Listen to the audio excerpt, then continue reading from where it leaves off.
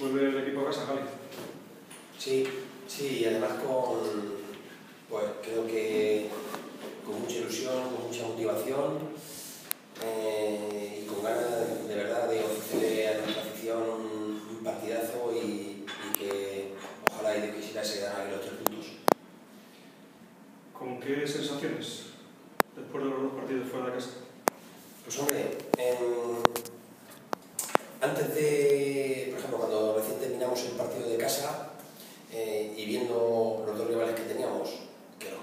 los conocíamos, que sabíamos que eran, bueno, ¿qué voy a decir? Dos rivales, además que, que a nadie se le escapa, dos rivales muy complicados, evidentemente no voy a ser cínico y yo te había firmado cuatro puntos, o sea, eh, creo que lo habíamos firmado el 90%, eh, tanto de lo que formamos en la familia del Dense como, eh, como los más alejados. ¿no? Eh, estoy convencido que, dice, no, bueno, sacar pues cuatro puntos estaría muy bien, pero bueno, visto lo visto, visto cómo se han dado los dos partidos, eh, te, vienes, te vienes al partido de casa con una sensación de que, bueno, podrían haber sido los seis puntos.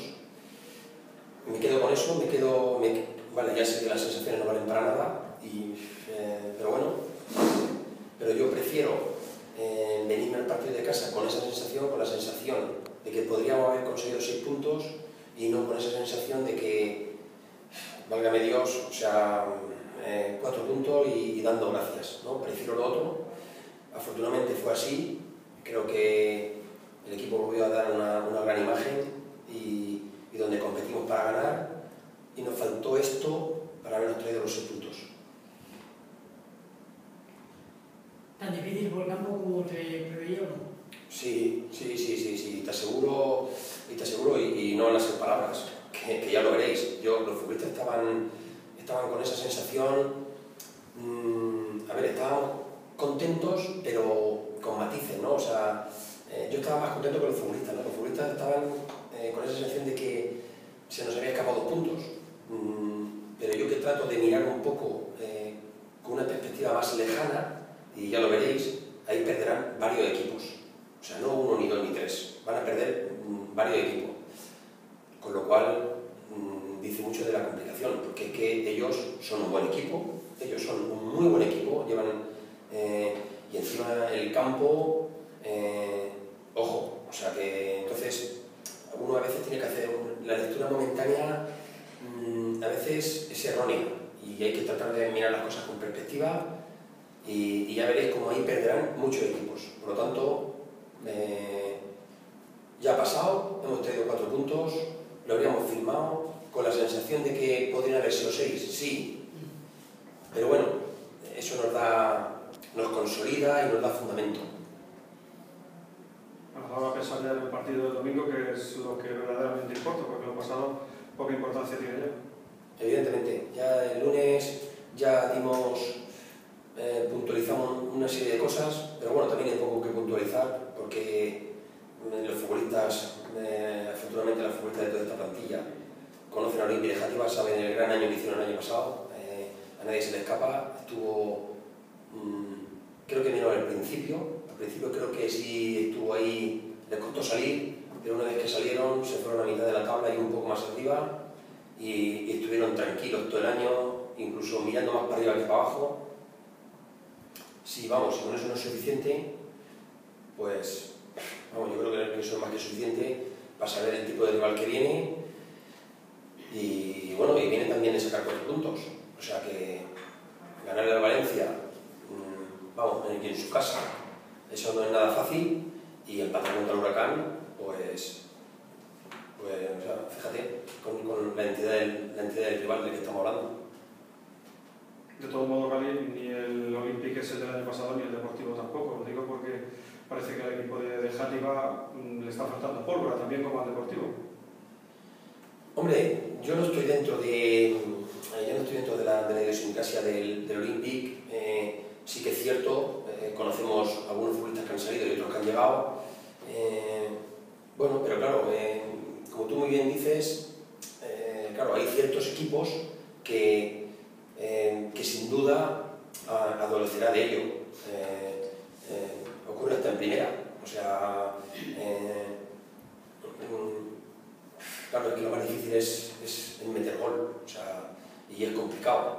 Mm, bueno, pero yo, yo, yo me quedo con lo nuestro, o sea, oye, que ojalá el, el domingo aquí, eh, evidentemente el Olímpico pues mm, no sea capaz o no sea capaz, o esperemos que, que no sea capaz de, de que no meta ningún gol. Pues ojalá, y que, y que eso me toca de decir, de que, de que les cuesta meter gol, porque siga así. Mm, eh, eh, claro, que voy a decir yo? Si se juegan junto a nosotros.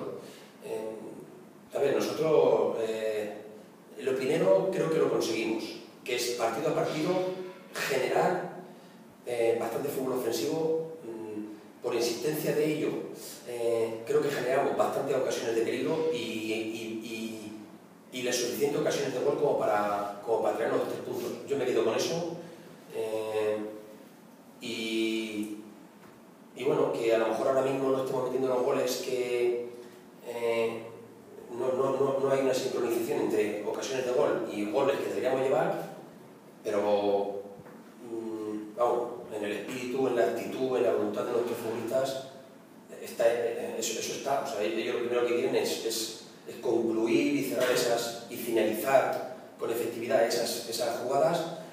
Bueno, hasta ahora no se está contando más, pero, pero vamos, yo tengo confianza plena en mis futbolistas y, y, llegará el día, por ejemplo, que a lo mejor tendremos una y a lo mejor meteremos dos. Eh, o sea que en ese sentido tranquilo. Bueno, yo te lo decía más que nada porque un equipo que ha marcado dos goles en cinco partidos, como se lo impide Sativa, ¿por dónde puede venir el peligro el domingo? Pues, a ver, los hemos visto y, y es un equipo, mm, es un equipo en, su conjunto, eh, bueno, muy bueno. O sea, luego tiene individualidades muy buenas, eh, eh, tiene buenos, muy buenos futbolistas. Em, hemos visto que les, les, hacen muy pocas ocasiones de gol, corren muchísimo, o sea, muestran un espíritu competitivo muy alto. de lo que hemos visto también, aprovechan muy, pero, muy, pero mucho, aprovechan el error del rival, o sea, computan con, y como tú bien has dicho, dos goles solo y han sacado cuatro puntos. Es decir, que, que con poco sacan mucho y eso significa que son futbolistas muy fiables, muy competitivos y vamos a tener que llevar muy, mucho cuidado e hilar muy fino porque ellos lo van, lo van a hacer así. Mm, si a eso le añades eh, el balón parado también, eh, es decir, que tú le generas pocas ocasiones de gol, corren muchísimo, muestran un espíritu muy competitivo y encima del balón parado también lo, lo, manejan bien, pues por ahí pueden ir las claves del partido. Eh, bueno, siendo esto siempre una suposición, porque luego la realidad del fútbol te demostrará el domingo o una cosa u otra. Desde luego el equipo es bastante incómodo, porque siempre al Deportivo le ha resultado muy difícil, tanto a Alejandro como aquí. Pues aquí el domingo va a ser otra vez, eh, sin ninguna duda. Eh, lo, lo, vais a ver. Eh, es que ya te digo, o sea, es que, es que no, no, es un equipo que, que, baje los brazos, no los baja, eh, corren y corren, mantienen una, una una gran disciplina, trabajan todos. Mm, y, o sea, que, que, vamos, que el partido del domingo a ser un partido de 93, 94, 95 minutos hasta que pite el árbitro, o sea, hasta que, hasta que pite el árbitro, como tengamos un minuto o dos, o dos acciones donde no estemos al 100%, esta gente te, esta gente te, te, la, te, la, te, la, va a coger y te la va a aprovechar y, y te va a meter gol. O sea, vamos, que el partido de domingo nuevamente es de una altísima exigencia. Todavía quedan muchos días, evidentemente, para que llegue el partido, pero en estos momentos, ¿cómo está, cómo está la plantilla, lo que festivos se refiere? Eh, bien, eh, bueno, ahora necesito saber también, porque todavía no sé eh, el miércoles todavía no sé exactamente cómo están evolucionando, pero bueno, de, mm, así de, de, los que todavía están, digamos que no podemos contar con ellos, pues Luis Doménez, pero que ya se está metiendo con el grupo, y Pablo Ibancos.